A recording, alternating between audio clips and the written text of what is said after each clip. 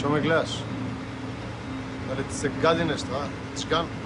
Брка и работа не ти е срам. Види на што личиш. Мирса, брат, ти го дркаш? Кукнебе го дркаш ли те прашувам? Брат, мене не ми се дига. е. Ај барем кажи дали ти се дига. е. Од тебе срамоте. Има пички. Срам да ви е. Стварно не ми се дига. Знаеш како би го дркал, брат? Што тоа? Би го шамар... Курот, што? Би го шамарал, чачкалица би го направил, брат. Ама не го бива, е, Аме, глуп. Изврка пичкија.